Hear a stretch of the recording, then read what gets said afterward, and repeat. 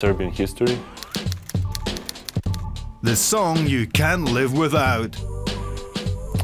It's a song from uh, my home uh, hometown. It's a name Stani Stani Ibar vodo. Stani Stani Barvodo Ibar vodo.